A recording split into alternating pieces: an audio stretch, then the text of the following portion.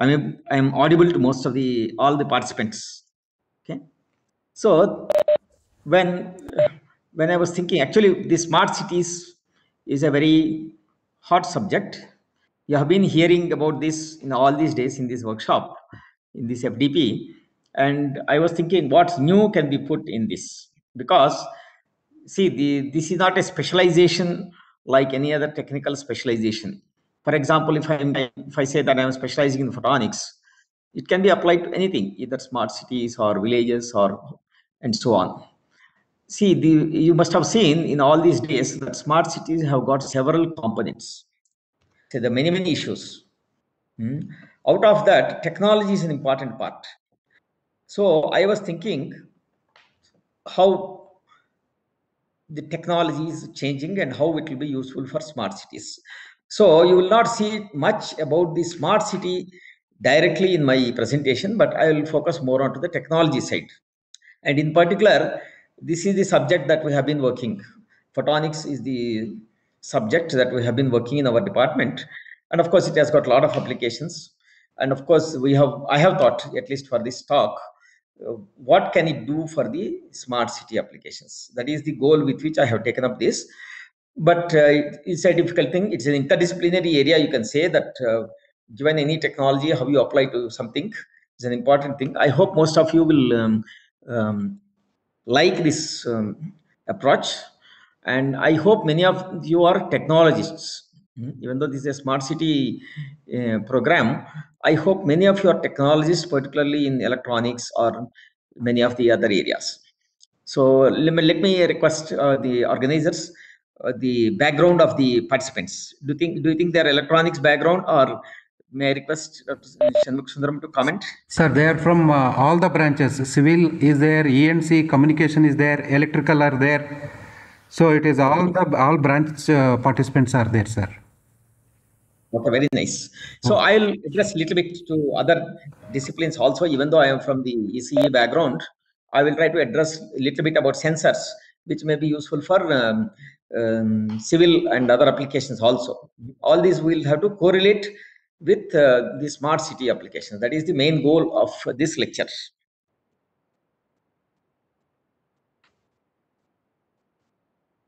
Just a minute, please. It's not moving.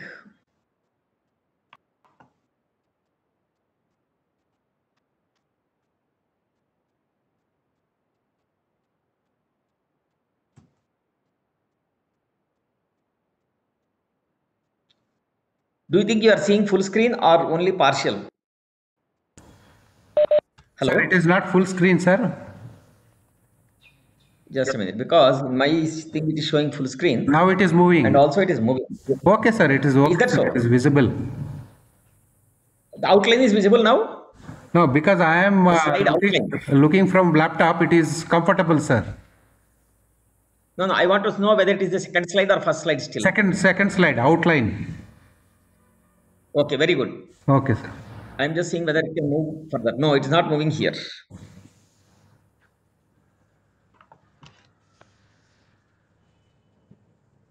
Just a minute, I'll have to do something to move it.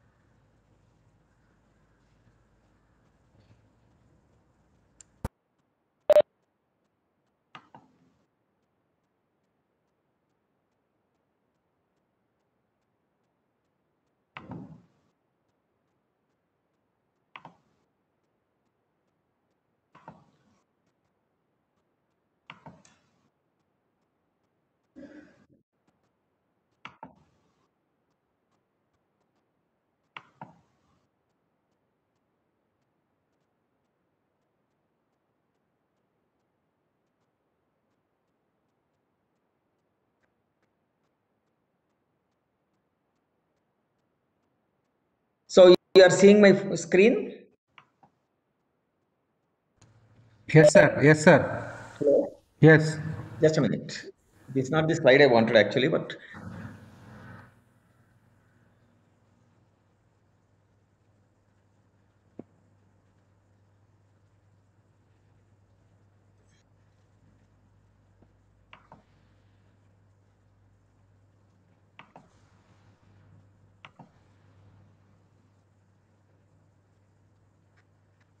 so you are able to see the first screen now, I suppose. Right. Right. Okay, let me go down, whether it goes down. No, it's not moving further. That is the difficulty I have right now. Mm. Earlier it has gone there, is it not? So, yeah, now the second slide would have come up. Yeah. Yes, sir. Okay, let us get going. I will not try to maximize. Okay. sir. Okay, sir. Okay. Okay. So this is a brief outline of my presentation. I will take about one hour to one and a half hour totally. I hope I will have time up to what time, Dr. Shanmugh Sundaram? 30, uh, sir, uh, 11.30, sir. Okay, fine. That's no problem. Okay, sir. So this is a brief outline of my presentation. I will touch upon a few elements of uh, smart cities with respect to the technology that we use.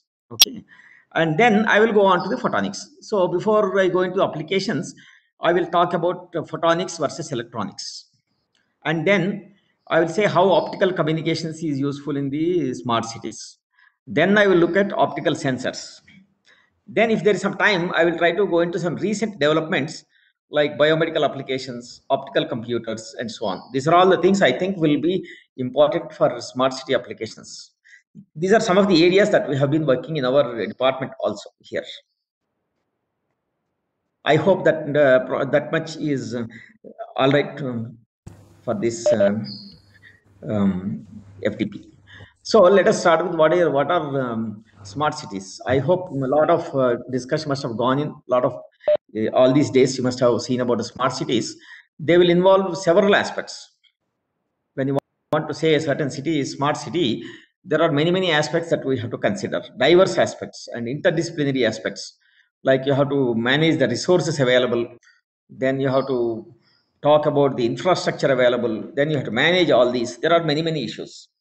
So I need not specifically go about because you already have covered many of these. But I would like to say that technology is an important component in smart cities applications. So a lot of technologies are involved. Mhm.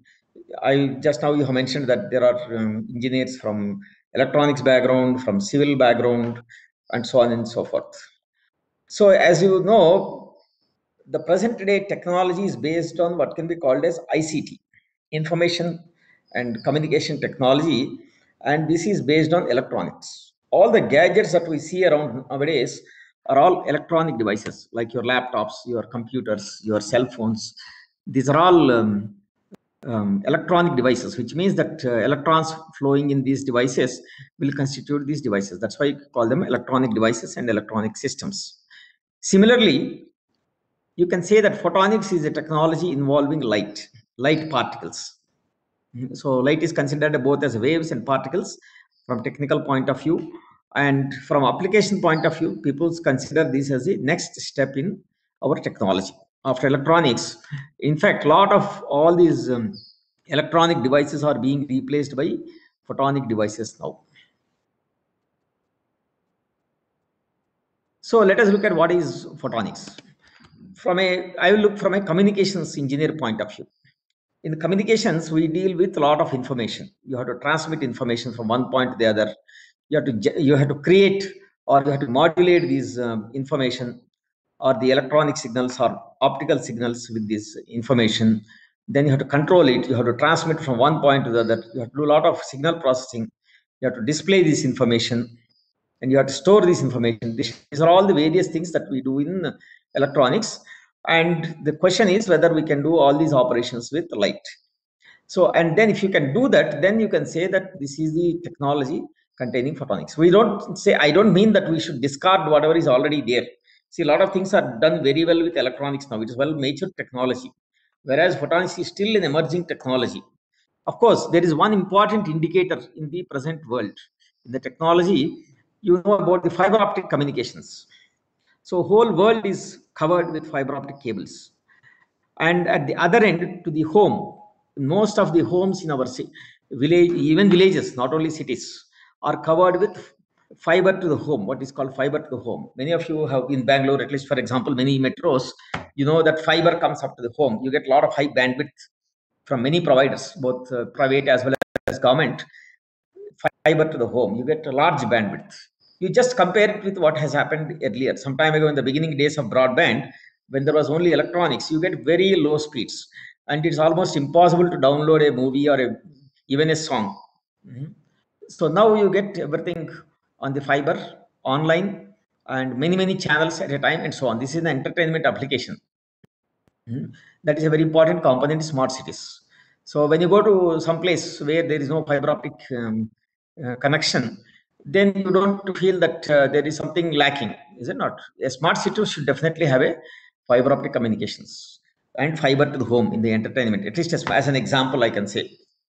Okay, see that is one of the dramatic development in the last century. You can say fiber optics developments is a very important thing and has provided all the new technology that we have now.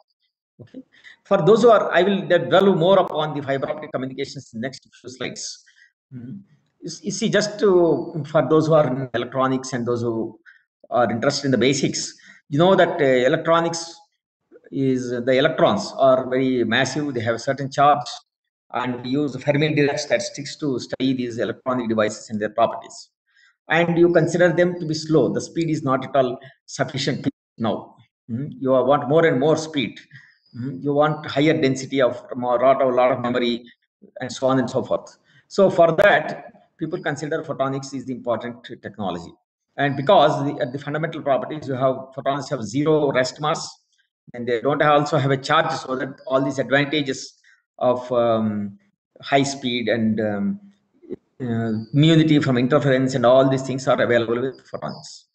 And of course, technically, you know that you have to use Bose-Einstein statistics to study photonics.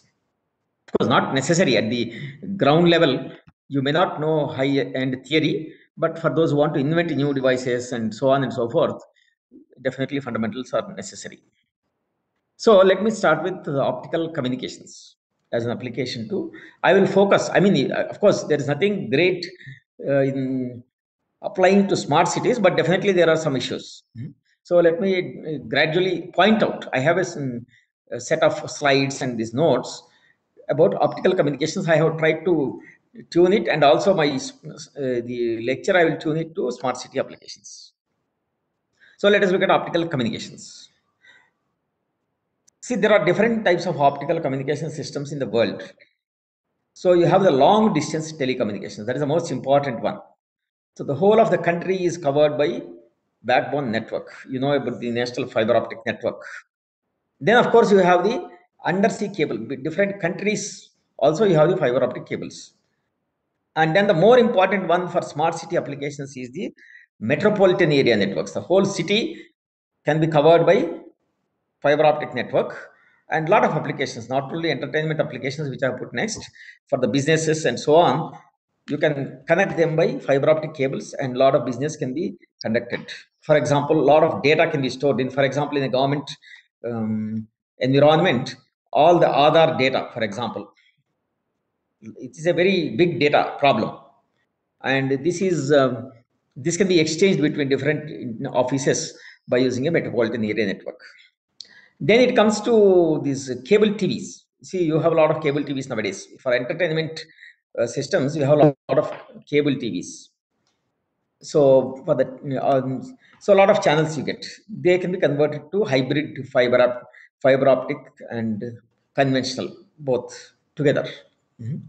and then these new ones the fiber optic um, fiber to the home systems fiber to the premises or fiber to the home if it is entertainment fiber to the home you can say and if it is a company you can say fiber to the premises is a specific thing. All the fiber optic cable. Of course, the one of the important features of this uh, fiber to the premises uh, systems is the com- combination of um, um, video information, telephone information, data information. All those things can be combined into a single fiber optic cable. That is the um, specific feature of uh, FTTP. So I'll show you some one or two pictures about how they look like. So this is the one of the earliest transatlantic telecommunication link. TAT, it is called. one of the earliest one in the beginning days of fiber optic cables, about say 1996 or so. This paper has come in IEEE.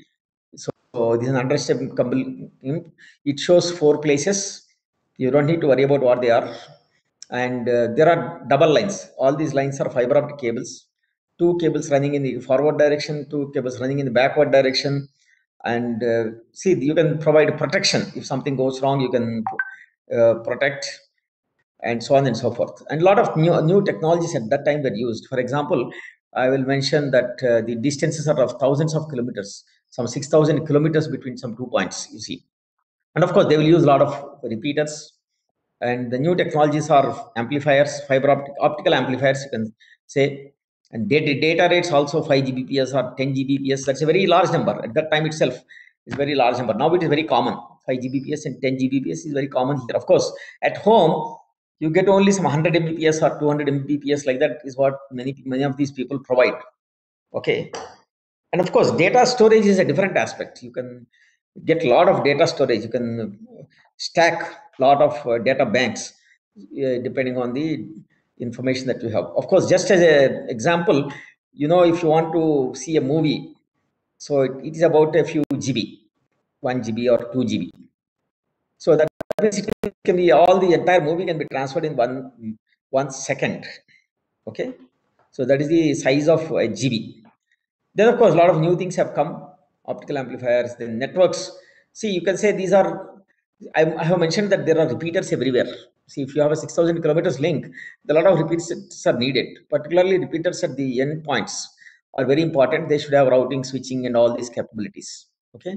This is a typical one quite a old one you can say. And of course still uh, this is the model that is um, uh, used. So now let me look at how a metropolitan area network will look like. So in the case of a city, if you, when you are trying to make it smart, it has to be connected to a backbone network. So you can say that the national backbone network.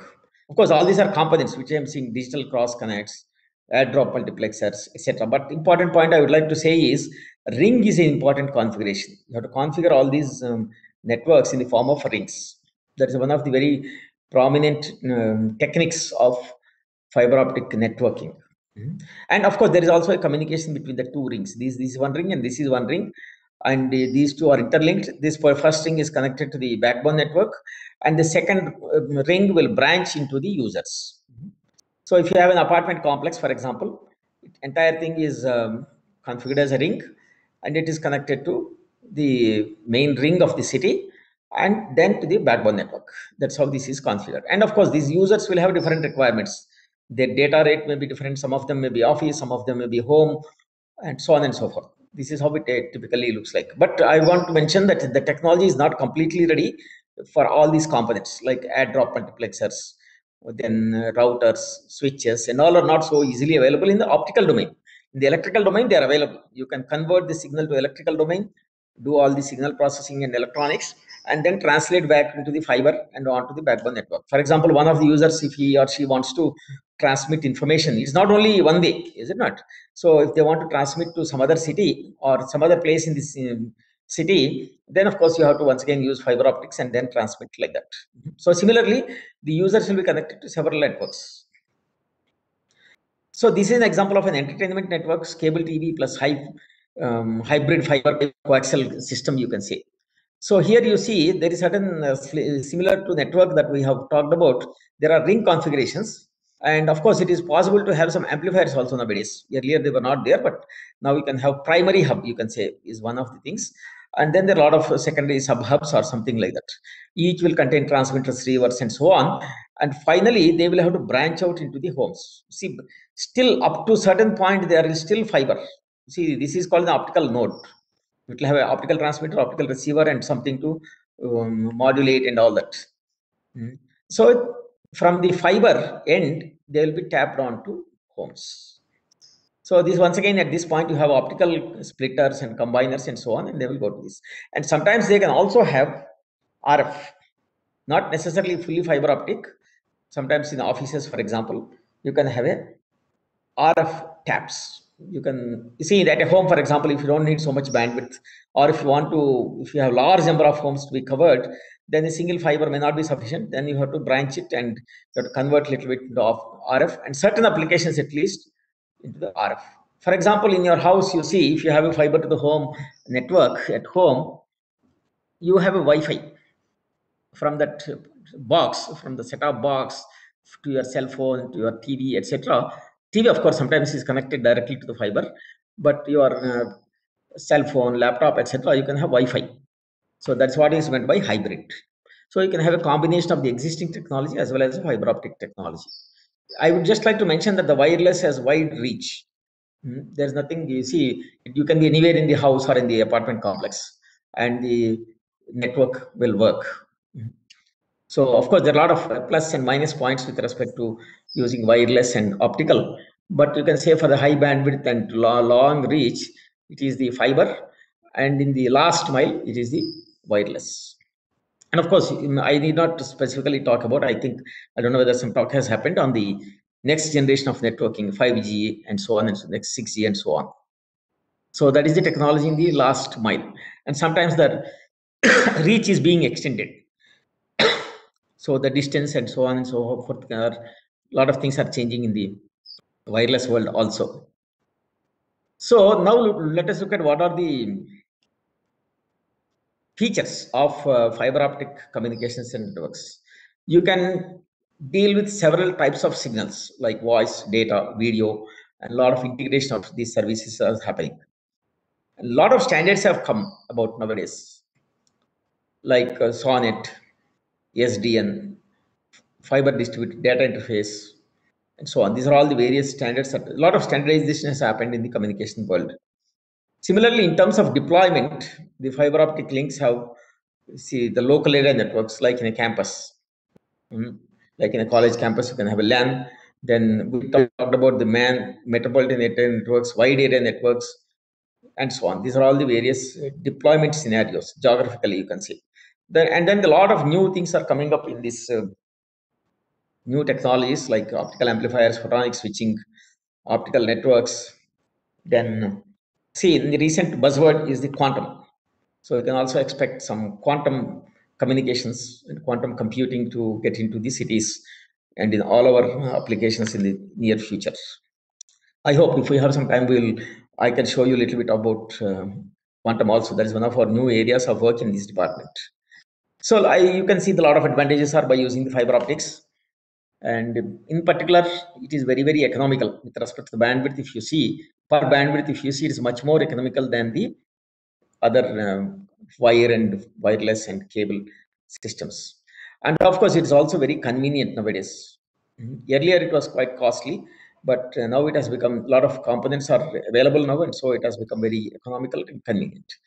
Uh, We have already talked about large information capacity of the fibers. Then, of course, you can uh, flexible for growth. If you want to change the system from 5 Gbps to 10, 10 Gbps, in a, even in a small uh, restricted sense, it is very easy to just to change the terminal equipment. You need not change the entire fiber and all that. Fiber already has a lot of bandwidth capacity.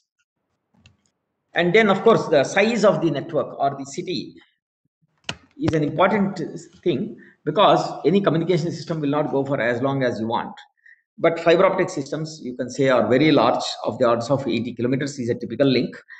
So low loss fibers have made it possible. Loss is very, very less compared to even the wired systems. Then other important issue I think someone would have discussed in the smart city applications is the security.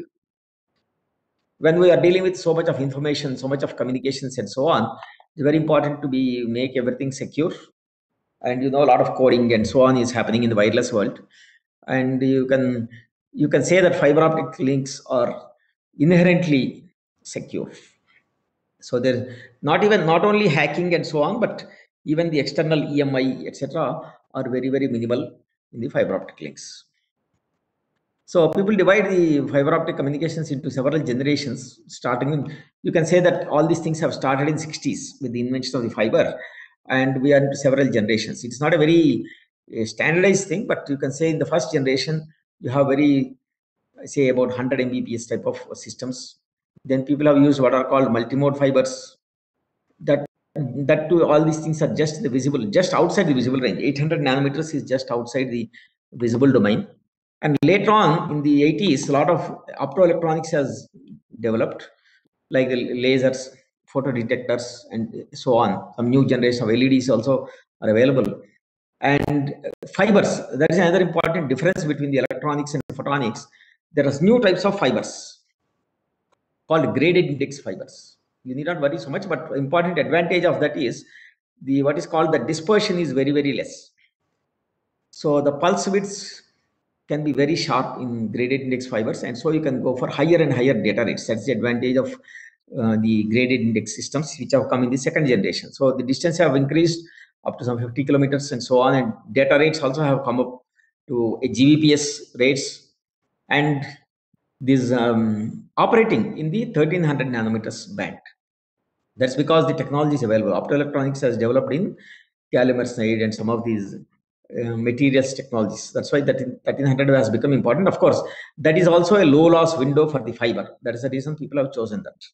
Then in the modern times, starting about 95 or so, lot of development in the networking side.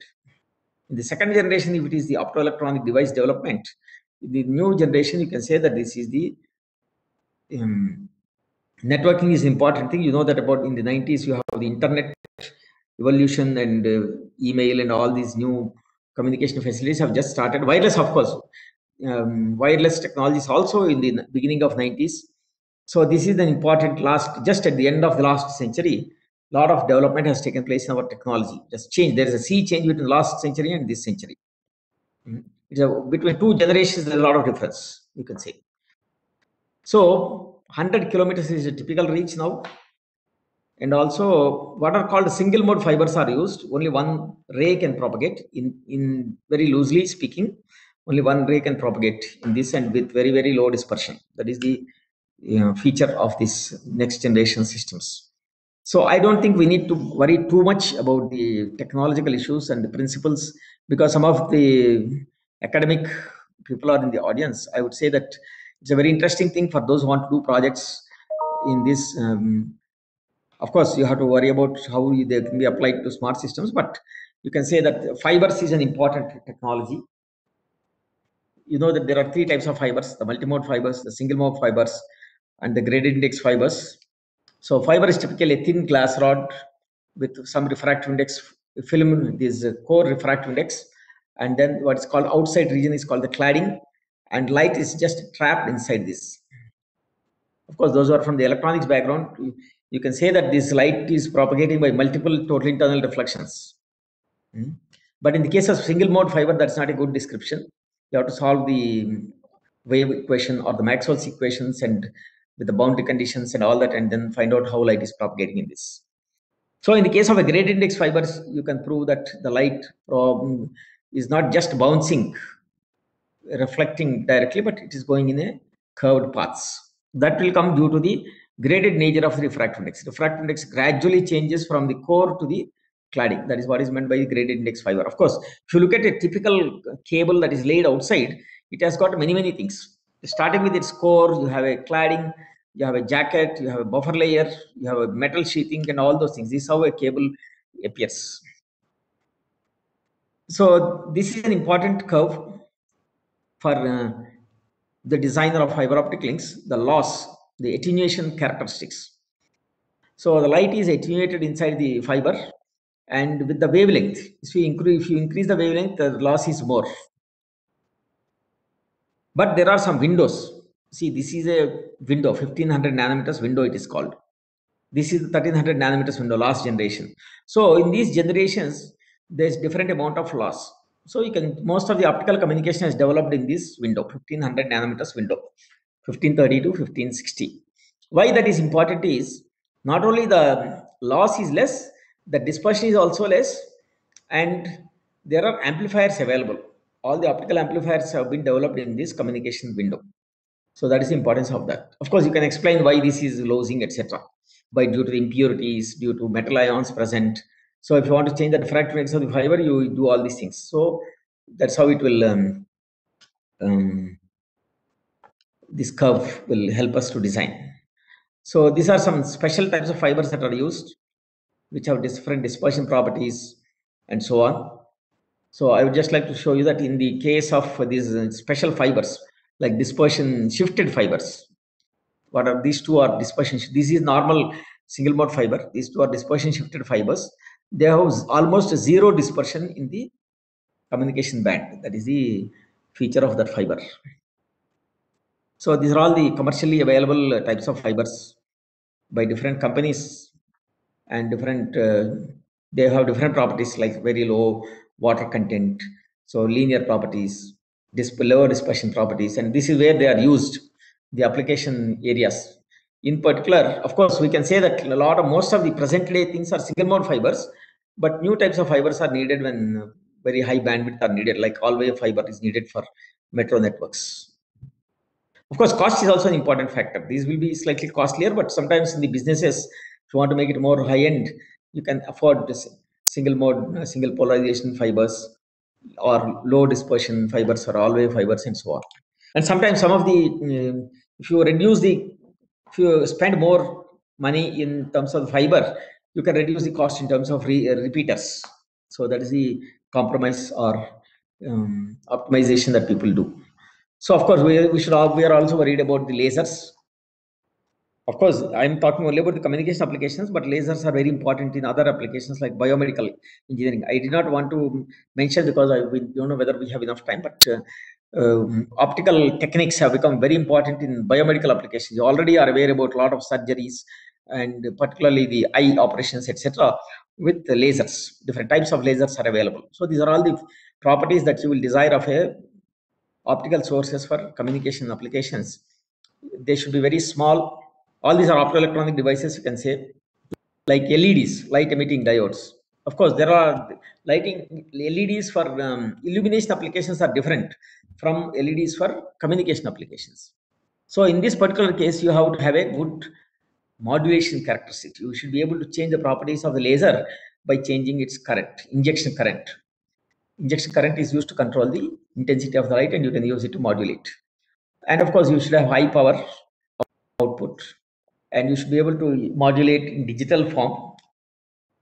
Hmm. See, simply a diode. You see, laser diode is nothing but a diode, but current and light characteristics will show that they are linear or not. So if you require a linear uh, range, if you want to do analog applications, and if you should have a um, very good uh, dynamic range, what you call between. See, we have, as you know, in communication, you use zero and one bits. Zero bit is represented by some low voltage, and one bit is represented by high voltage or high intensity. You can solve in terms of light, you can say low intensity light and high intensity light. So the difference between them should be large so that you can have very less noise and all that. So the fibers should have low dispersion. And of course, for um, long distance is more important. And current is an important thing. So if, if it has a low threshold current, it will have a long lifetime. So of course, it should vary with the You know, sir, sorry to disturb Yes. you. Sir, I think is your battery is draining out. You check, sir? Is that so? Just a minute. Okay, okay. You- Yeah, yeah, yeah. Yes. Yeah, please. I, yeah, I have. Yes. Yeah, very good.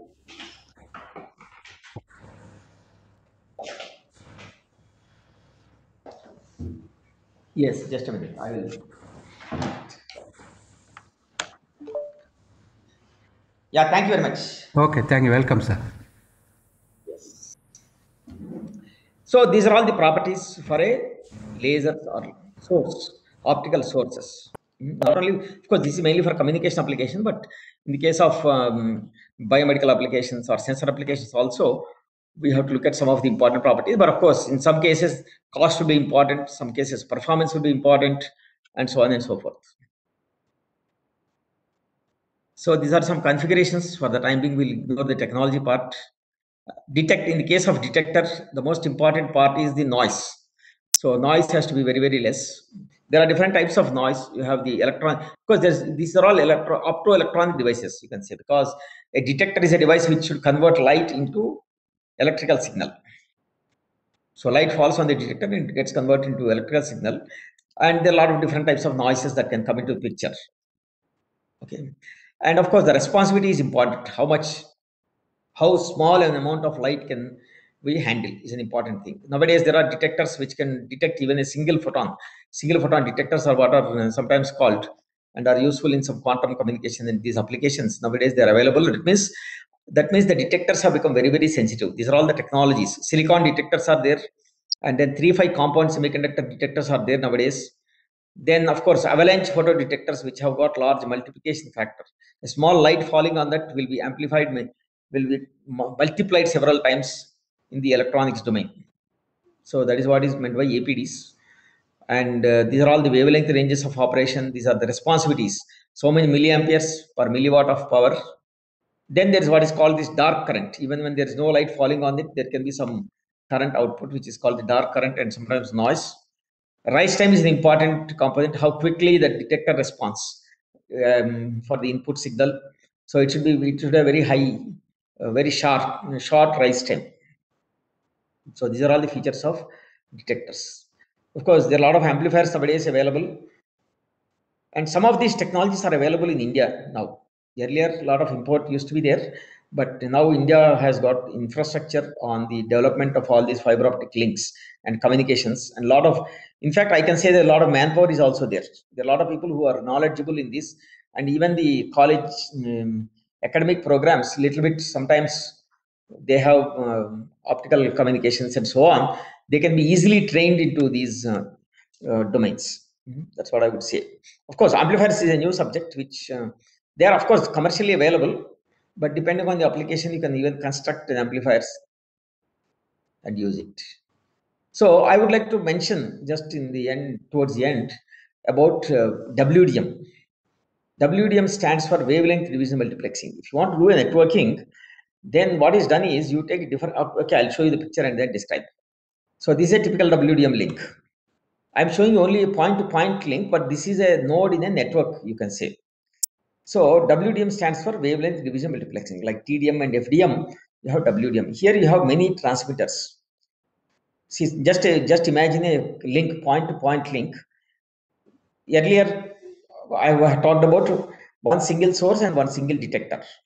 And as fiber now, what I'm showing you is a set of n transmitters, each operating at a different wavelength, each modulated separately, and then all of them can be sent to a single fiber by using this mux. You can focus, focus all these signals, you can combine all these into a single um, optical fiber and transmit to wherever you want. On the, for example, on the bus, on the ring network that we talked about in the beginning. So the light the light of different sources goes on in the ring. And then when someone wants to receive the signal or they can extract the signal from the main backbone or main ring. So there are several users who can do that. For example, I'm showing you many, many users, R1 to Rn. These are all the receivers operating at different wavelengths. They're responsive to different wavelengths. So this way you can enhance the capacity of this fiber optic cable. But there is other important usage. This is one of the usage I'm showing here. There's a transmit and receiver at one end and another transmitter and receiver at other end, each operating at a different wavelength. So you can do bidirectional communication using a single fiber. Earlier, in the beginning, I have shown you four fiber link. TAT system is a four fiber link. Now you can reduce to two fiber link. One for protection, one for transmission. Both ways are possible in this thing using such a WDM concept. So the other way that WDM is used nowadays is you can assign each of the users in the node at different wavelengths and they will communicate and all of these signals can be transmitted through one or two ring networks. So this is an alternative to broadcasting and other technologies that are available. So this is an example of a um, fiber to the home type of system. So someone this also has come quite old long ago the beginning days of um, fiber optic communications. It's a trans simultaneous transmission of multi-channel analog and video link using WDM. So the, here you have a star coupler, several sources, several sources, all are combined into a fiber and, and they are distributed in an apartment complex. All these components that are available presently are shown in this, like lasers, DFB distributed feedback lasers, star couplers are needed, isolators are needed, some 1 by 8 or 1 by 16 couplers are needed Similarly, the branching, other branches, branching circuits are needed. These are all the technologies that are necessary. And you, this one, this only demonstrates the maturity of the technology available at this point of time. Of course, a lot more is demanded. Mm, It's not sufficient. Still, a lot of things are needed. We want to avoid uh, electronics as much as possible. That is one of the goals in the photonics. Because once you convert to electrical domain, your bandwidth is limited. Something like the bottlenecks.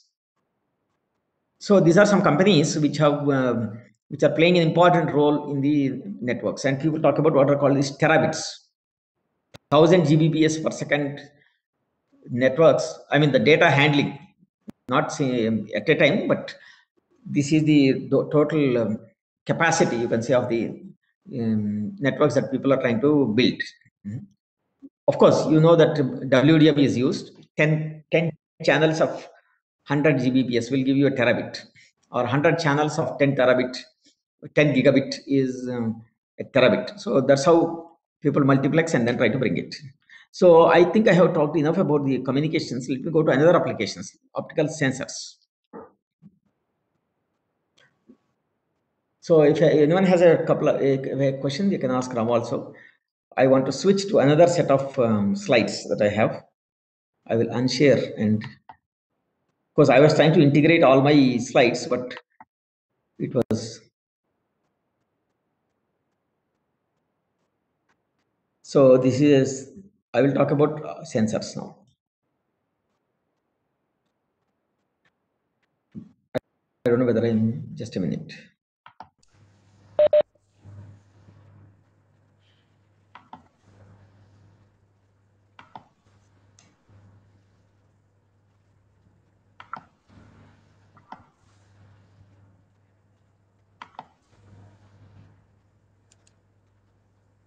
Do you think the sensor slide is visible now? Yes, sir. Yes, sir. So now, I- of course, that much about the communications is sufficient, I suppose. I have talked too much, I suppose, for a smart cities uh, workshop. So I would like to show you a couple of other technologies. In particular, the sensors is an important technology in the smart cities. You know, sensors are there everywhere in the building complexes and in um, shopping malls. I mean, these are all somewhat uh, not so professional applications. Sensors are needed in many, many things. For example, if you are using a helicopter to uh, see, I suppose, I don't know, someone has talked about, or it is desired that you have a helicopter link in a smart city. Is it not? We cannot uh, wait. See, you, you are aware about the traffic jams and all these things which are hindering our um, lot of um, applications. Is it not? So you need a um, lot of new technologies like a helicopter link between important um, offices or buildings or government uh, systems or airport and so on. So sensors are very, very necessary in these applications. Mm. One, one end you have the commercial and these type of applications, the other end you have professional ones. Even in our home, for example, in the washing machines and in the TVs mm, and in the many, many places, you need a lot of sensors. Mm. So photonics is going to play an important role in sensor applications. Already, it is not so much standardized as the communications, but a lot of new ideas are there. New sensors are available in optics and photonics. Okay, I'll talk about a few of these now. Just I'll show you some examples, and then we will um, move to something different. So, optics has played an important role in sensor applications. There are what are called bulk sensors. In olden days, there are crystals, and people have uh, used them for sensing. Suppose you want to radiation sensing, for example. I'll show you examples and specific things later on. Suppose you want to detect some uh, radiation. Mhm. Or um, chemical sensor is an important sensor in your home. If there is a gas leakage or something like that, we can use uh, sensors. Is it not? We have sensors in every house can be embedded with uh, all these sensors. Then that those are called bulk sensors. Each one is an isolated one, individual one, and it operates by itself. It has its own circuitry and all that. Mhm. Then there are called these fiber optic sensors. Now, optical fiber, which we use for communications, of course, almost all, most of many of applications will use the communication grade fiber itself, but there are several fibers which are sensors uh, specific to sensors. So you can make an optical sensor in a fiber. Those are called the fiber optic sensors. Fiber itself is a very, very sensitive device. If you change the refractive index with some other external medium, it can become a sensor. So those are called the fiber optic sensors. I'll show you a lot about optical fiber optic sensors in these next few slides. Then people are trying to integrate these sensors on a chip. So these are called the photonic integrated circuits or integrated optics is the term that is used for all these um, sensors which are very very miniature you can have multiple sensors in a chip and so on and people talk about what are called these smart um, structures smart structures like buildings. So people have uh, of course there are a lot of uh, companies i suppose. Not a lot of companies a few companies even in india which can embed these sensors inside the buildings. Railway tracks for example is an important application of railways is looking at. So you can make all these systems very very smart by uh, applying optical sensors. So these are all called smart systems so smart systems can be a part of smart cities and uh, other things. And of course many of you must have come across what are called mems micro electromechanical systems. These are still smaller. You can combine mechanical engineering mechanical devices electronic devices on a small chip and people are trying to extend it to optical MEMS or MOEMS, micro opto electromechanical systems. Okay, so you combine optical component also in the along with the mechanical and electronic components. That is what is meant by MEMS. So, just a minute, please. No, not this is not the set of slides I wanted to show you. I'll pull out and bring another one. Just a minute, please.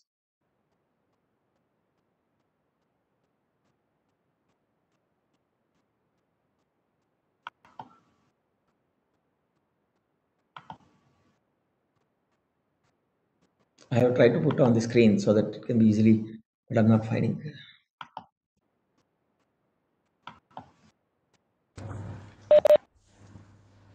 खुद का पहले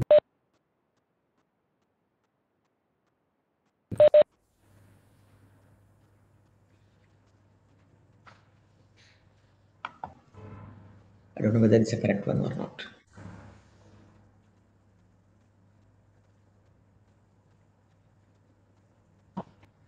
I think I'll use some PDF file this time.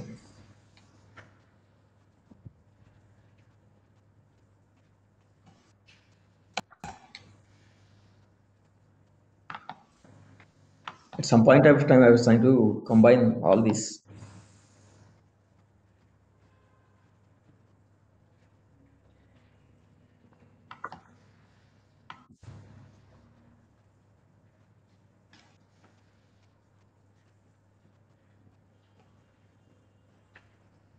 Yes.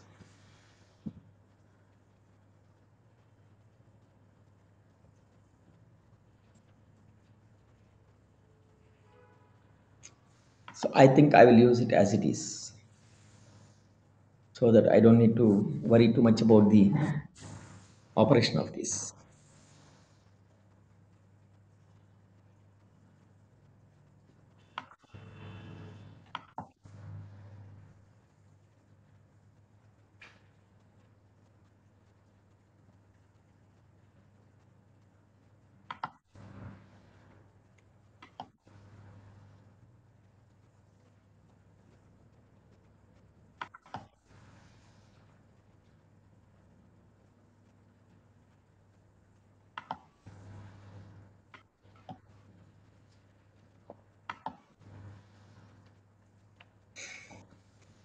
So you're able to see my slide on the yes fiber sir yes sir sensors? yes sir Yeah. I actually I forgot to acknowledge some of my students who worked on some of these things we are working in our lab. I will acknowledge some of my research students who have done some work on this, whatever I show. So I'll give some examples of fiber optic sensors. Then more specifically what are called the fiber grating sensors is what I'll show you. And a few optical MEMS sensors also I'll show along with a little bit of work that we do in our lab. So the general comments that I made earlier for optical communications can be extended to sensor applications. Okay, that means like the advantage, the low low cost, and so on. Specific things I'll mention as we go along. A lot of bandwidth also is available with fiber optics, but the most important one I can say is that you can make many many functional devices. The functions whatever um, requirement that is given can be met with fiber optics in a very easy way. That's what I mean to say. So these are all these specific advantages that I talked about earlier. So the most important one that uh, may be useful for smart structures, smart sensors and smart structures and smart cities applications is this immunity from EMI EMC problem. A lot of sensors are hampered by these um, EMI EMC problems, particularly electronic sensors.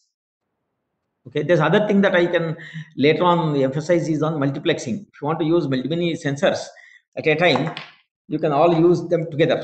Arrays of sensors can be used in um, many applications. So it can be used as a point sensor as well as in a distributed sense. That's what I would like to show you in a minute. So I think I better go with this. So as you know, fiber optic sensors have important role to play in manufacturing, military applications, defense applications, etc. And in the energy exploration, oil fields, etc., people have been using because uh, there's no electrical signal. You can take the fiber optic cable into the oil field easily. Then, of course, a lot of consumer applications. I need not mention separately medical and other applications. These are all the various areas where fiber optic sensors have been put.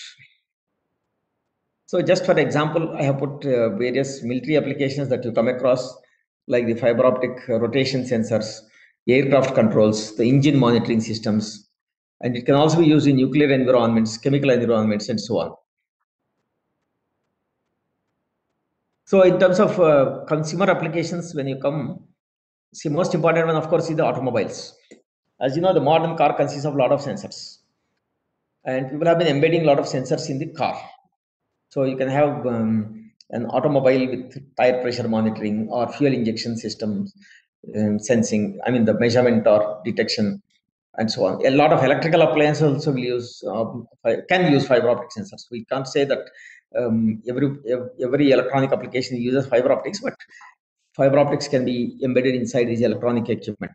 For example, in a big in a supercomputer, for example, for the temperature monitoring, we can use a lot of fiber optic sensors in different places. And one of the prominent ones that I have come across is um, the civil structures, buildings. So when the buildings are being constructed, itself you can embed a lot of sensors inside the building at different points.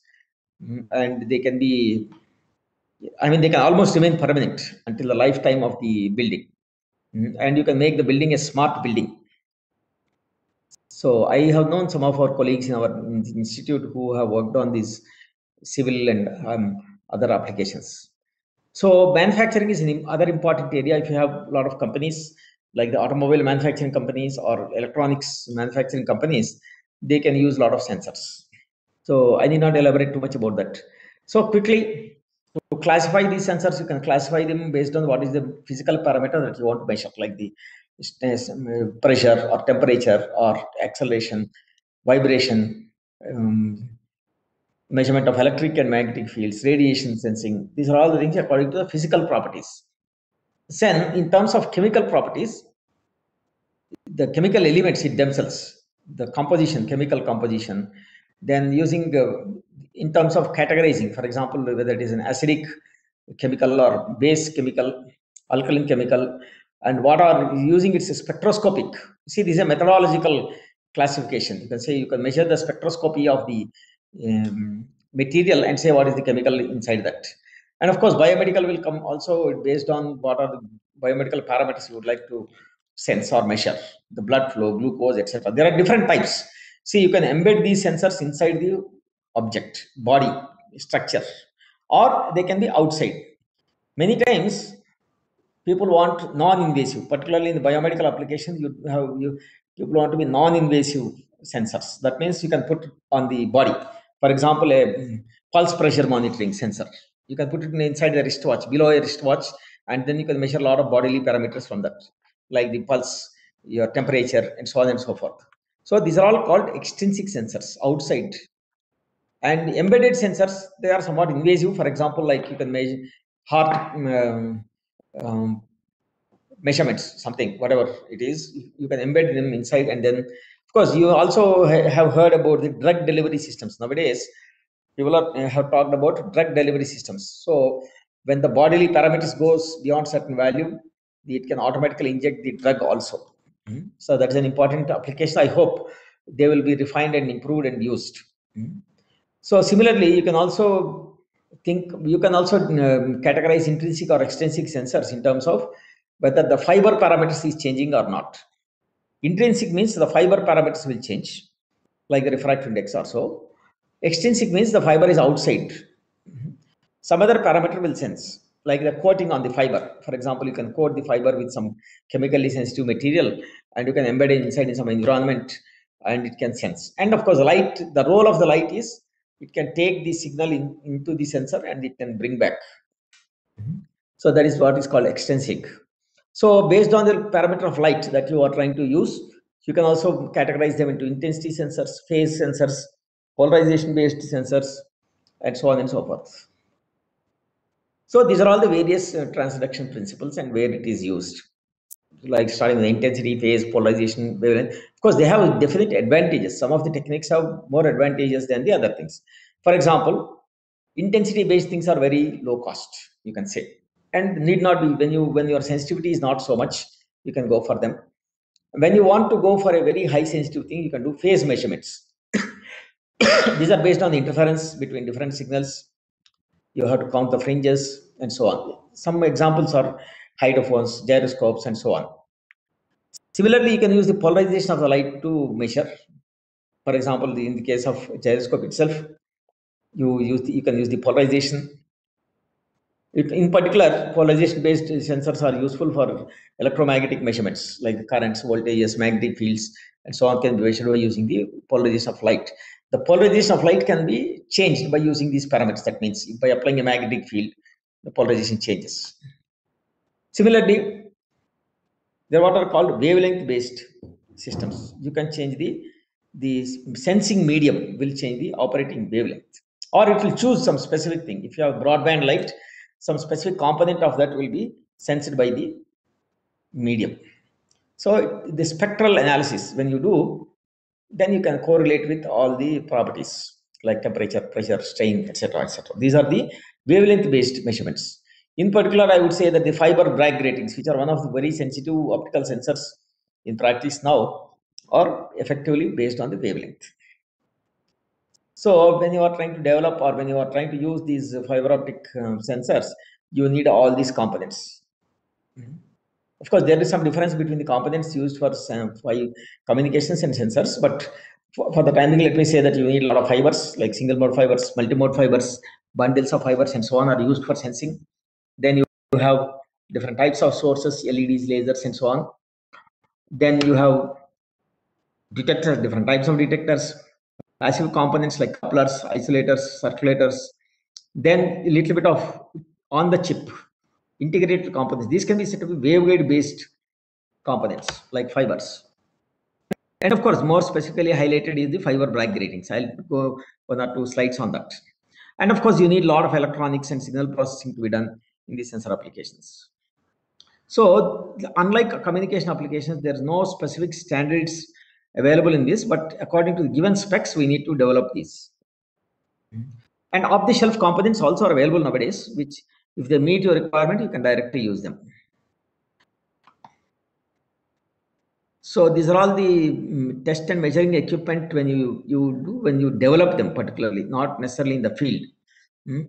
In the field, when you are trying to diagnose, etc., you may use some of these, but uh, they may not be very suitable to be embedded inside some structures. But of course, these of the functionality is very important, which can be, in fact, what people do nowadays, you build a small system on the chip, which will do whatever is the function that is necessary. For example, if you want to do a spectrum analysis, you build a small spectrum analyzer on a chip, which can go into the field. So this is an example of a typical block diagram of fiber optic sensors. This is a sensing medium where the light is modified by these physical parameters, physical, chemical, or biomedical parameters and these two fibers will bring in the fiber into the medium and then take it out. This is how a typical fiber configuration, sensor configuration looks like. So as an example, if you want to do a position sensing, you can place the fiber very close to the object that is moving and light, the distance that light propagates from uh, tip of the fiber to the object is a sensitive function. And it can be taken back, the light signal can be taken back, you can measure the phase and then you can estimate and correlate with the position. Instead of using a single fiber, you can use a bundle of fibers. That's what is shown here. So interferometric sensors, as you know, very, very sensitive. One of the best examples of interferometric sensor is a gyroscope. You can measure the rotation rate of an object like a missile or an aircraft or some object by using a gyroscope. So it has got a coil of fiber. The light is transmitted in the clockwise direction and anti-clockwise direction. The input light is split into these two clockwise and anti-clockwise beams and they interfere at this coupler. And the angular velocity is proportional to the phase shift between the clockwise and anti-clockwise. That is the main principle in this. This is called a Sagnac effect. And it is the interferometer is called a Sagnac interferometer. So this is one of the devices that we made in our lab. When I was a student, my professor had a project, Professor Selvarajan. He had a project on this fiber optic gyroscope with uh, DRDO labs. Linearity is an important property in all sensors between the input parameter and the uh, laser light intensity. So, for example, in this uh, case of interferometer, it is a sinusoidal curve. It's not very linear at this point, but you, if you operate it in this region, the sensitivity is very, very linear. So, you have to do some biasing of the sensor. So, intensity modulation sensors are very, very not very costly, costly but of course, you can sort of make it more, more sophisticated by using the spectral measurements. So intensity of light is what is measured in all these things, examples. This is called a spectrally spliced um, technique. You can use an interferometric filtering technique. You can use a resonant technique. You can embed these inside a laser cavity. For example, your sensing medium can be laser cavity and uh, the resonant frequency can be the, the measured quantity. So if you want to do voltage and current measurements in a system, you can use like this. For example, you can have a current carrying conductor, you can wrap the fiber optic cable around the um, current carrying conductor and you can say that the rotation, this polarization of these light can be changed. You can say rotation of the polarization will result in the measurement of the current. It's possible. Similarly, magnetic field. You can, there's a magnetic field around this uh, current carrying conductor which can also influence the polarization state and so on. You can also make a special arrangement like embedding some small detector adjacent to the fiber, which can uh, detect, which can be more sensitive and so on. So electromagnetic fields can be measured. Similarly, this is an example of a chemical sensor. Like, you see, in fact, many people, some people have projected that we need to have a lot of, in fact, we want, we don't want, but pollution monitoring is an important problem in a smart city. So chemical sensors are needed for that purpose. So you take a, in fact, this is like not a really sensing thing, but uh, monitoring system somewhere in some traffic junctions, etc.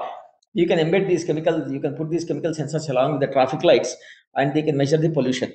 So the technique here is you measure the spectrum of light.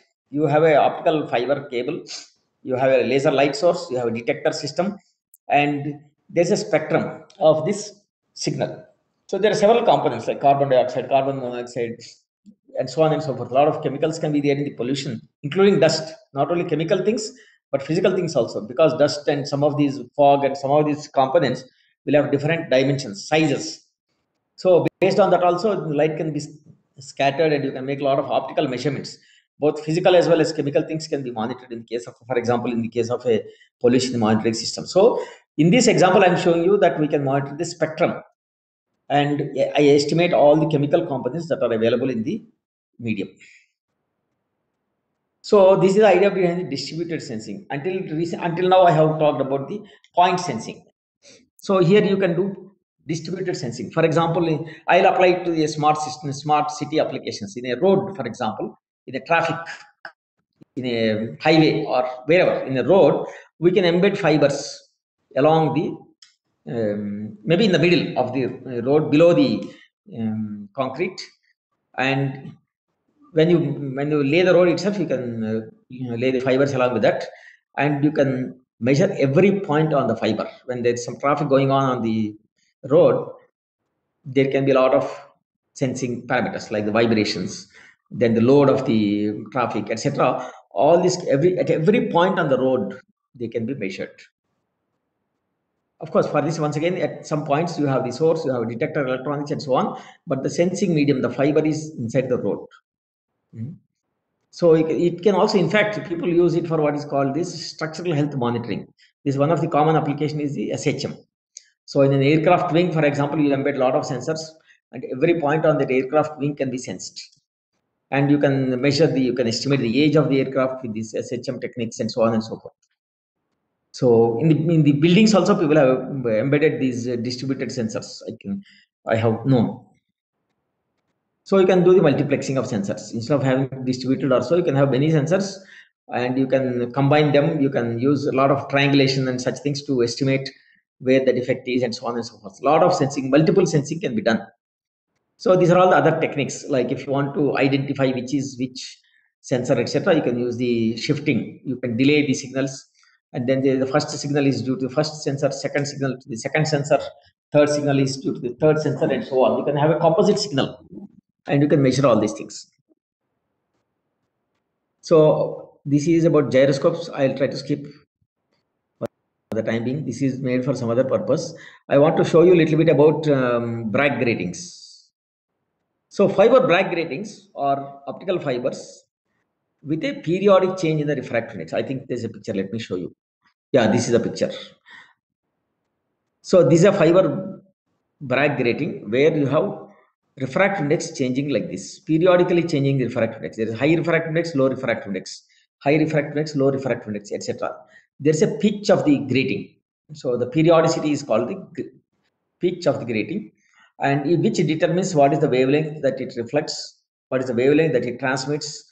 All the spectral characteristics is determined by these grating properties. Mm-hmm. So they need not be these sinusoidal. They, maybe they can be pulsed, rectangular pulse or something like that. So in the core of the optical fiber itself, you specifically fabricate these fibers. You have a highly doped fiber, not a normal fiber, and you can make a lot of sensors. Whatever is the pitch you want, whatever is the length of the FBG you want, etc., can be made in the fiber itself. Mm-hmm. So for some information for those who are interested, this can be made in IISc in the Department of Instrumentation. Professor uh, Asokan's lab, you can there is a setup to make the optical fiber gratings. And of course, a lot of places in India, these fibers, you know, fiber gratings can be made, and they can uh, sometimes some of the people, some of them can also make it according to our requirement. So there are a lot of varieties of sensors. I'm showing you only one particular one, a lot of FBGs. So these are all the principles of operation. I'll show you some examples in the railways or somewhere. So recently there are some projects I know about uh, usage of these FBGs in railways. The usage, this is this chart will show the usage of this. If you launch a broadband pulse like this into a fiber, a small fraction, specific wavelength is reflected back and all other light is transmitted. So Usually this is used in the reflected mode. So you measure the center wavelength, which is given by the formula lambda b Bragg wavelength is given by the twice the effective refractive index of the fiber multiplied with the grating pitch. So you can choose the um, grating pitch for a particular wavelength of reflection. So you are measuring the wavelength in all these things, not the intensity or phase. So these are all the final descriptions. You can measure the temperature also you can say how this um, reflected wavelength will depend on the strain, how this depends on the temperature.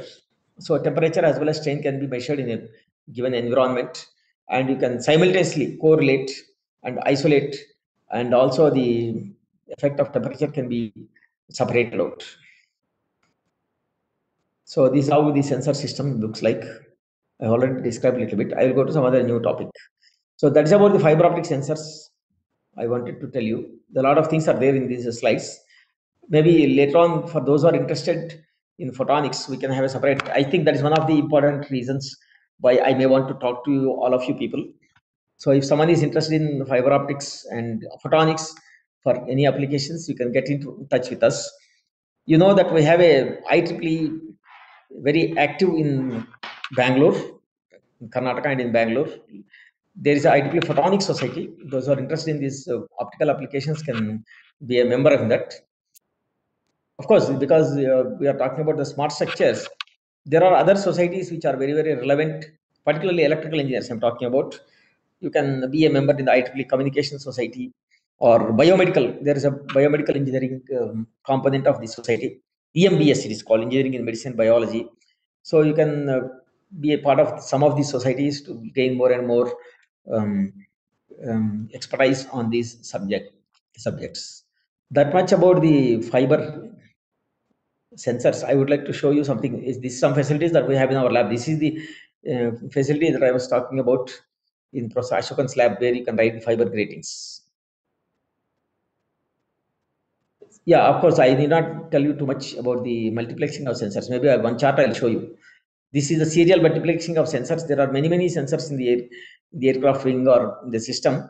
Each of them, this, this resistor-like things are the uh, gratings and these are the coils of fiber depending on the length and you launch a couple of pulses pulsed signals lasers into this system and they will be reflected from different different points of uh, this uh, system and you get composite signal like this you can correlate the composite signal with unperturbed and perturbed system and you can measure a lot of parameters of the smart structure so different types of multiplexings are available i would like to show you finally a little bit about um, MEMS because I know that you said some mechanical engineers are there around in the audience.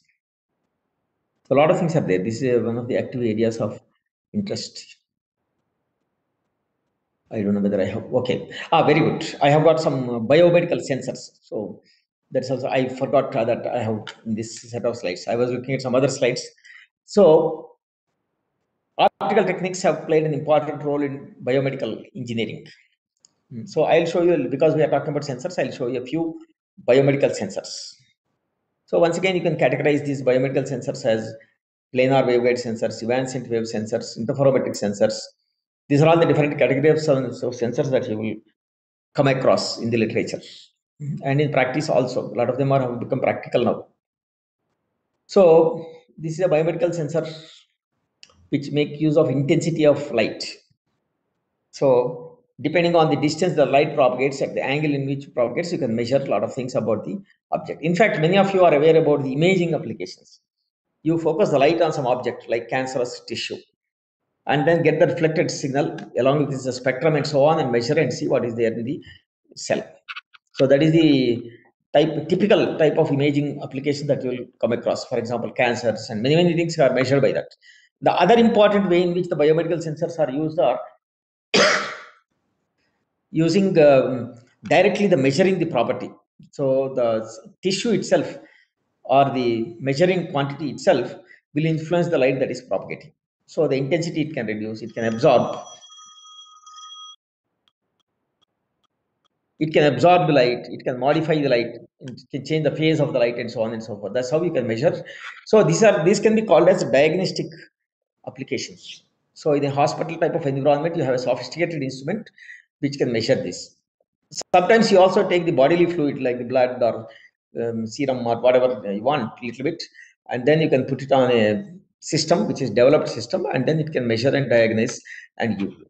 And also, like what I have talked about earlier, you can also embed the sensors inside your body. So those are also can be considered biomedical applications. If there is a slide, I'll show you. Mm-hmm. So I did not want to tell you about the planar waveguide sensors, but let me show you one specific example of sensor. This is called SPR sensor. So this is, I, I have combined many things into one small chip. Mm-hmm. So this is the substrate. You are seeing the cross section on which you coat all these biomedical parameters. So you do what is called this analyte. You prepare an analyte. Mm, Some will, uh, let me for the time being, from an engineering point of view, because we are not medical professionals, you mix the me- measuring quantity into some analyte like water or um, something like that. And then you can smear it over the chip and you use the light. You see, this chip can contain optical circuit. So light, there like there can be optical waveguides, there can be a grating and so on. When the light propagates in this, these top layer, the biomedical layer will influence the light propagation. So in this particular case, I'm showing a prism, which is interfacing the light source and detector with the circuit. So it can also be fiber interfacing. You can get light from an optical fiber and pass it through this chip and then measure. So ultimately, our interest is how this biomedical material is influencing the detection. Once again, this is reducing. Like this. Okay. So you measure the spectrum, various angles, time delays, so many things can be measured. And you can, in the case of SPR, uh, because that I I have put the heading, you have a metal layer and a dielectric layer. So surface plasmon or the phenomena which happen at the interface between the metal and dielectric interface. It is very, very sensitive technique and a um, lot of measurements can be done. But of course, the distance of uh, measurement or the interaction lengths are very small. Light can be attenuated very quickly. These are all the negative points of that, but it's a very sensitive system, SPR techniques. So in our lab, we are using the couplers, these ring resonating couplers. So you, this is an optical circuit. I, I, did not tell what is the circuit here, but here I can say that you have a optical ring resonators. You can change the ring resonator uh, properties by coating another layer on top of that. For example, of course, once you fabricate, you cannot change the radius, etc. Spacing between the ring and the waveguide, etc. are important. But the propagation properties, the resonant characteristics can all be changed by that medium. In fact, in one in one example in the literature, they have put the analyte inside this ring and all the ring properties change. So this is how it is used. These are all the measurement technique and so on. And I'll show you one more example. Uh, this is one of the examples done by one of our students. So various biomedical parameters and what is the thickness of each that is used and how they are modified. These are, so these are variation of refractive index. Resonant frequency shift, when we use it as a um, um, wavelength shift, so many picometers of wavelength shift is possible corresponding to different refractive. You can also correlate the refractive property, optical properties with the wavelength properties. So I would like to quickly, in the end, I would like to put one or two slides on the optical MEMS. I know this is an interdisciplinary subject because many times whenever whenever I talk to a divergent uh, group consisting of mechanical engineers, etc., this is one of the area that we are working in our department, and I can put a few slides on optical MEMS. Hmm. I think these optical MEMS are going to be very important in the future um, smart cities and all these applications because we know that MEMS themselves are playing an important role in many applications now.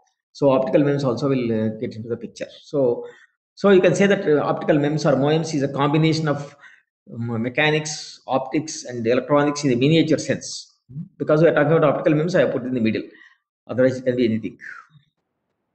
So, uh, yeah, the motivation for this has come from one of the important papers in uh, last century. At the end, in the beginning days of MEMS, they have shown there is what is called a micro-optical bench.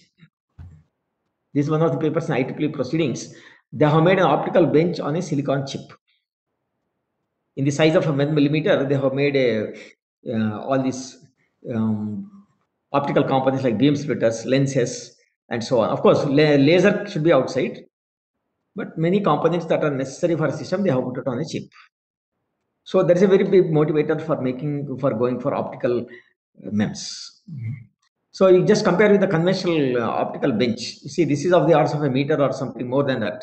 And all the stands are placed on that and mechanically you have to adjust. If there's any vibration or some disturbance or some misalignment in the system, you have to once again redo everything. It takes long time to get back. So it's not a very practical thing if you want to put it in a field or you want to have a more compact um, measurement system. So that's where this optical bench will come into picture. So I want to show you two slides. So a lot of uh, applications are there of MEMS technology, but we need not, this is not a MEMS lecture, so I will not dwell too much. But for scanning applications, someone has used, made these mirrors on the chip. So this is a very sophisticated uh, type of technology, you can say. People use what is called the surface micromachining technology to make these mirrors and optical MEMS. And MEMS also will use surface micromachining technology. So this is what we have done in our lab some time ago one of the PhD students worked on optical MEMS pressure sensor. It has got an interferometer like this. There, these are all waveguides. These double lines are all waveguides. Launch light into this waveguide and then split between the two arms of interferometer. And below one of arm of the interferometer, you etch out a diaphragm. So this is a very small diaphragm of the size of some 20 microns or so. And the waveguide is on top of the diaphragm. You know that the waveguide is put at the base of the diaphragm so that the strain is maximum at this point. So most of the mechanical engineers will know that a, if you have a diaphragm, the boundary is more strained, whereas the displacement is more at the center. So you put the fiber or the waveguide at the base of the diaphragm, and you can measure the light intensity as a function of the pressure that you put on top of that. This is one of the things that we did. And recently we did another force sensor application. You can measure the submicron Newton forces using uh, optical techniques like this.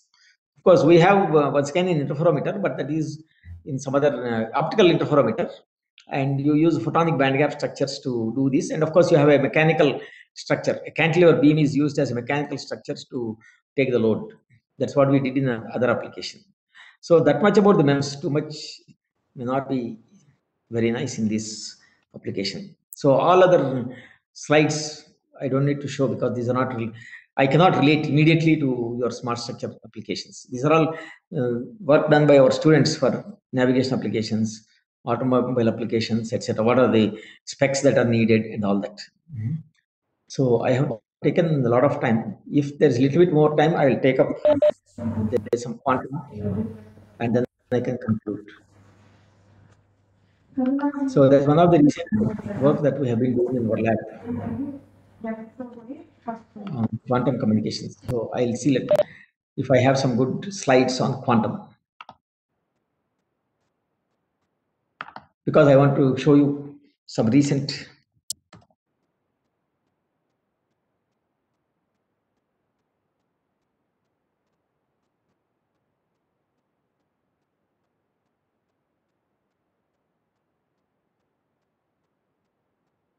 I don't know whether this is my slides or someone else.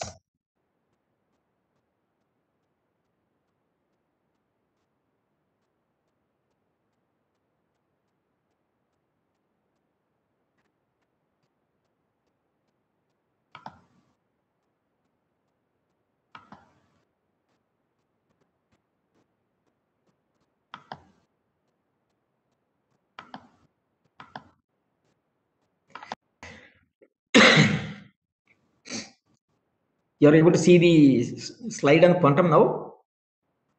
Hello? Yes, sir. Yes, sir. So just uh, because you have given me an opportunity, I would like to show a couple of slides on the quantum. This is considered as the next revolution in our technology. So everything is going to change. In fact, actually, we should recognize that already we are using a lot of quantum. In many of our applications, all these electronic devices and many things are all quantum in nature. In fact, even the biological systems, the way that our body works and the atomic systems that are inside our body, the molecules, the cells, and so on, are all really um, working in the quantum nature. Only thing is, in olden days, until recently, all the bulky applications like the automobiles and so on and so forth, we use classical mechanics, not really quantum mechanics. But the real world is quantum. Okay. And in particular, we are talking about light light is a real quantum object. And we don't know much about light still. Even though we know about the spin of light photons the statistics all these things the lot of properties of light like the like the chrome like the colors not exactly the physical color but its quantum mechanical properties of light are not well known. Mm-hmm. so you say that the future is um, we need to understand in all our curriculums etc once the jobs increase in this quantum world, quantum communications and so on, then we'll have to jump into learning these subjects. We may have a, a curriculums. In fact, I, I hope some of you know that there is a BTech programs in photonics coming up in some institutions in India also. Abroad, of course, in CREOL, for example, um, and Rochester and some places, you have BTech in photonics. So here we don't have um, jobs immediately, so we cannot afford to bring in but of course, for those who are interested and those who want to do research and those, those who want to um, do more futuristic thing, this is a very ideal subject and a lot of interesting things are there. I'll show you one or two slides. Mm-hmm. Recently, you know that the, the Chinese are much more ahead in quantum in the world. So Indian government, not only Indian government, many many countries are jumping into this quantum world. So the quantum itself is quite old uh, subjects, I mean, quantum information. I'm not saying quantum mechanics or quantum electronics. Quantum information is a very latest subject, and people are jumping into that. So this is called quantum information technology. Includes quantum communication, quantum computing, and all these things. I'll show you a couple of slides. Hopefully, this is moving.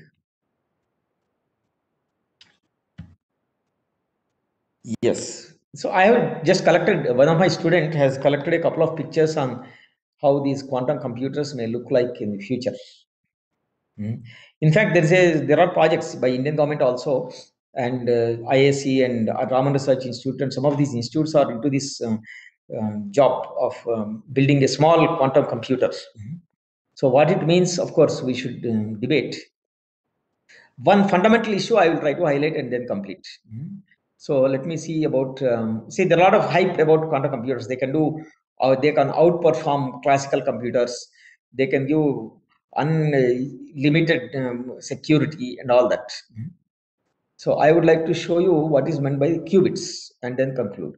So this is a little bit about the um, development of the CPUs. Let me just a minute, please. I will want to show you about the qubits. I don't know where it is. I I think I have taken the wrong slide. No, yeah, okay. I will use this slide to to explain about qubits. In the quantum world, we should talk about quantum bits rather than classical bits. As you know, in classical electron in communications, we use zeros and ones, which have got definite values. Okay, so um, you represent them by using currents or voltage levels. Zero volts means zero bit, and one volt means one bit. In the quantum world, you cannot do like that. Say, for example, you take you represent the physically you represent the quantum information by using the single electrons or single photons, which are quantum objects, not classical objects. So their properties are not well defined. You have to use probabilities. For example, if I want to say the position of an electron, I have to say that electron is at there at this position with so much probability, at this position so much probability, at this position so much probability. There is a probability uh, distribution of this electron. Similarly, for a photon, if you want to say polarization of a photon, you cannot say this is horizontally polarized or vertically polarized, but it has got at every point it has got some probability of say probability of light being at 45 degrees angle is so much you can say. So there's a probability distribution. So in quantum world, you always deal with these averages. When you have a distribution, you can take about the average. So the mean values, zero ket and one ket are the averages of the zero position and one position. Suppose I say this is the zero position. So the average of the zero position. There's a distribution and average of. So any given state of the object is represented by the superposition of these two states. So for example, a, a, mm, position of a photon angle which which it makes. So it can be represented as a linear combination of zero. That means the photon can be in the zero state and one state at the same time with a different probabilities. Alpha and beta will define the probabilities. That is the most important difference between the qubit and the bit. So based on this you can develop a lot of things. You the whole of quantum information theory is developed is based on these properties of qubits indeterministic properties of the qubits. So you can extend it multiple qubits 0, 0, 1, 1, 1, 0, 1, 1 are the classical um, two bits. Similarly, you can make the averages of those. There is a distribution for joint distribution in the electronic sense. You call it joint distribution for 0 bit and 1 bit together. We will define the 0, 0 qubit, 1, 1, 0, 1 qubit, 1, 0 qubit, and 1, 1 qubit. So this actually can be called as the basis see like will, we have to use linear algebraic techniques to understand this quantum. So these 0 0 0 1 1 0 1 1 these averages kets are the basis functions which will define the state of two qubits. So these alpha 0 alpha 1 alpha 2 etc are all the probabilities. So that much about the multiple qubits you can think of extending it to it. So that means if you, you see just as an, just to explain if you have a n qubit system you can say it has got 2 power n basis. And so it can represent exponential amount of information classical information. So i want to show you some one or two pictures developed by some groups. So you can talk about quantum logic gates quantum computers etc so someone is interested in just a minute i'll show you some pictures of uh, systems that people have developed already. So these are all some I actually, I want, if it were a, say, for example, just this is an example of a QKD, quantum key distribution. So you can make a very secure uh, quantum information communication system by using this. This is one of the earliest protocols. Maybe I will not have much time to do that. So a lot of things are talked about. I think I should skip. This is the, I think the um, slide is slightly distorted. This is a quantum satellite um, that Chinese have um, used for long distance communications. There are a lot of um, pictures are there. A lot of information is there on the literature and on the web also on these recent developments in quantum communications. I think I think I should conclude. Hmm. So let me say in the end, in the conclusion, maybe I will not use this slide, but I will just orally mention that um, see the photonics has got an important role to play in smart structures, uh, smart cities applications. So the important uh, technologies of um, fiber optics are photonics are optical communications, fiber optic sensors, then the biomedical uh, applications, and into the future, if you look into it, quantum communications and computing, these are all the things that will play an important role in the our new world, you can say. Start by about another 20 years or so, you can expect to see a lot of things. In fact, there is, of course, there's a technology prediction or progress that people talk about. So a lot of things have changed unpredictably. The development of our present technology was not so much predicted earlier. But something is happening and it is also um, we can also think of um, see i'm not showing you the slides. I'm just concluding okay? So there are a lot of things that can happen in the near future so when it applies to smart cities there are a lot of things are needed we have talked about a very narrow domain of uh, the technology and a lot of management and uh, resources um, and infrastructure and all these things are necessary. I hope those who are studying the smart cities will take in, interest and make use of these, whatever is, that is possible with the new technology. Okay. So thank you very much for listening. And if I bored you or if it is not so much related to what you have been expecting, hmm, please excuse me. Thank you, sir. Thank you. Sir, there are a few questions are there. Yes. Can we use fiber optic technology on large scale basis? This is the question from the participant. Yes. The question is yes, already the fiber optics is very well uh, used in communications, fiber optic communications. We have national backbone network in India and many of the offices, big companies are all connected by fiber optic cables now. So, and also I have mentioned about the fiber to the home. The whole uh, homes are connected by fiber optic cables and your high bandwidth applications, including the cell phone communication, has been made possible because of the fiber optics only. Otherwise, we would not have got the um, the wireless evolution also that we are seeing now. Okay, thank you, sir. Uh, next question is: What is the prerequisite requirement to pursue a specialized course in fiber optic applications?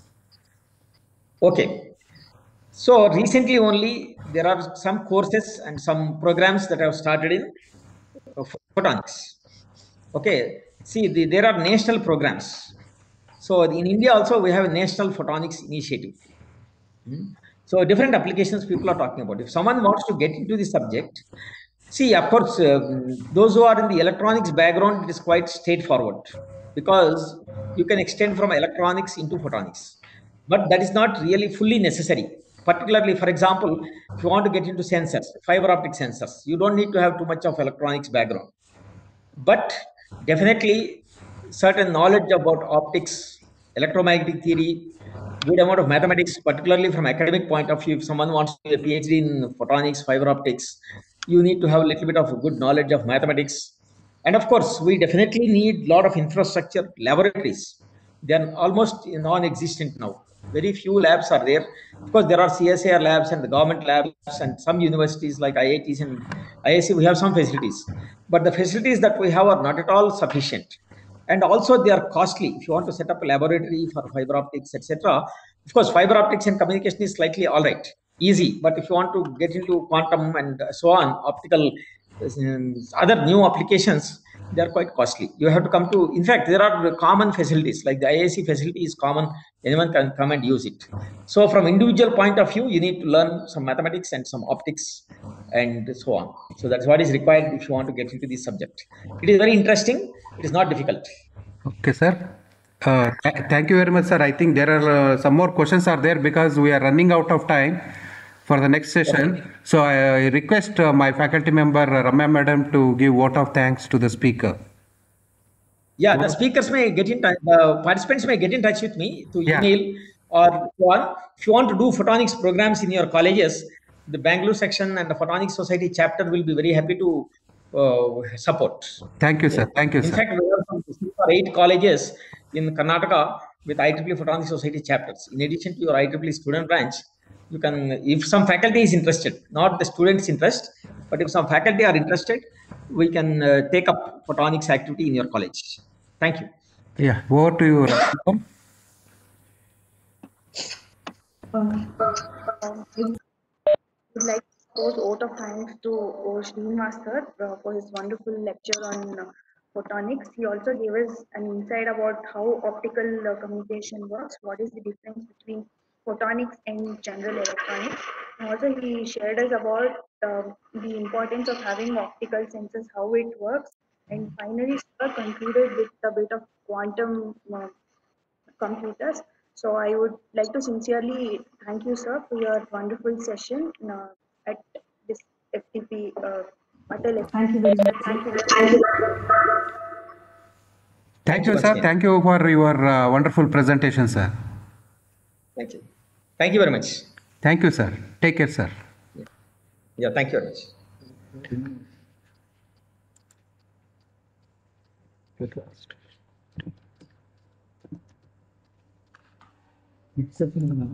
very much.